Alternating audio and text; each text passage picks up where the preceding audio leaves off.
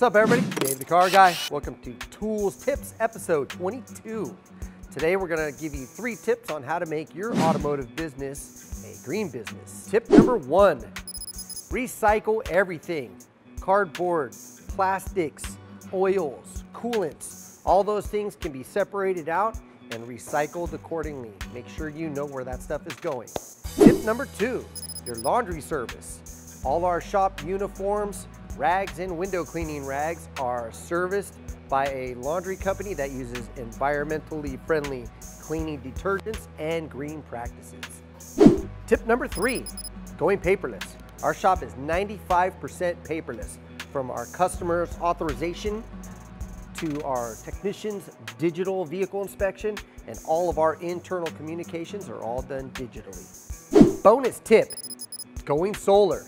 You have the opportunity to own your own building, you can add solar panels to your business and during the summer months, you can actually work a whole day without drawing from the grid.